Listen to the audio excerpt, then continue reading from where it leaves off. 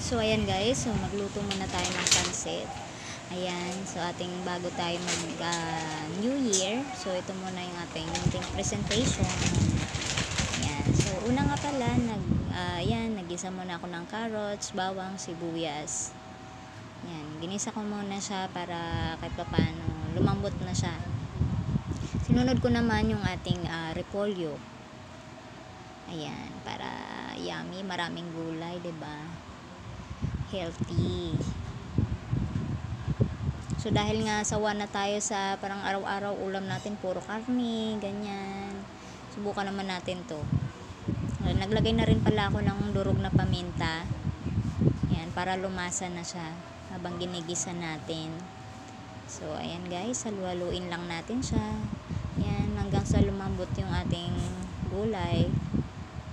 Halo-halo ko lang siya, ganyan. And then, yun na.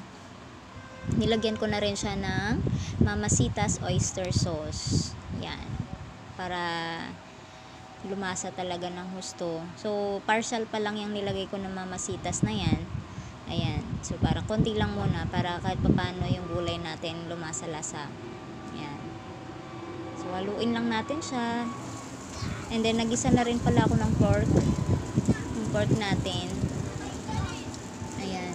Nagmantika na siya sa sarili niya. Ayan. Pinrito ko lang muna siya hanggang sa mag golden brown. And then, after niya mag golden brown, yan na siya. Tinanggal ko na siya. Nilagyan ko ng tubig. And then, nilagay ko yung ating bihon.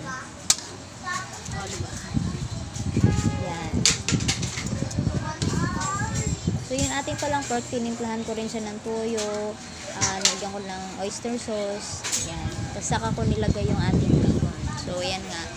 Habang ano, hinihintay natin na lumambot yung ating bihon, ganyan. Halu-haluin lang natin siya ng konti. Ayan. Hanggang sa maghiwa-hiwalay na siya ng kaunti-unti. Lumambot na. So, ayan guys. Yan, dahil lumambot na yung ating bihon, lagay na natin yung ating ginisang gulay kanina. Yan. Ayan na nga guys. Tapos lagay na rin yung ating pork na pinirito kanina na tinimplahan na rin natin. Ng oyster sauce, sauce, uh, toyo. Yan. Tapos dinagdag ko na rin pala yung ating anong huling mamasitas. Isang buong mamasitas. Yan. Para lumasa na rin siya ng husto. Nilagay ko na siya dyan. Si Papa pa lang naglagay. Ayan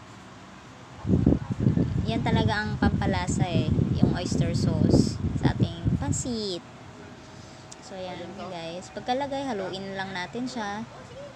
Yan haluin lang natin siya maigi hanggang sa humalo na ng husto yung gulay yung ating sauce oyster sauce doon sa pansit. Yan halo-halo lang. O diba? Healthy na. Pangpahaba pa ng buhay sabi nga so yan guys. Pulpak tong pansit natin. Ang daming gulay. Yun talagang importante dyan eh. Tapos lagyan na rin natin ng konting toyo. Yan ating pampalasa pang alat-alat lagyan na rin siya ng toyo and then haluin lang natin siya ulit. Yan, hanggang sa humalo na siya ng husto doon sa ating pansit. So, yun guys. Yan.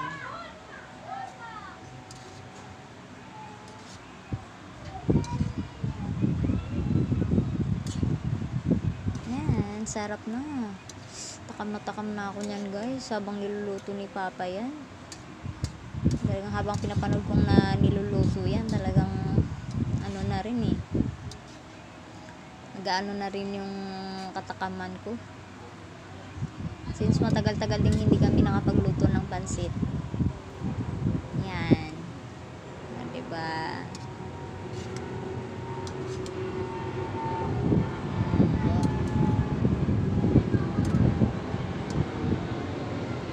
Yan siya guys. Well mixed na siya. Yan kasi in-in lang natin ng konti. Lagyan natin ng dahon ng sibuyas. And then finally eto na siya. Thanks for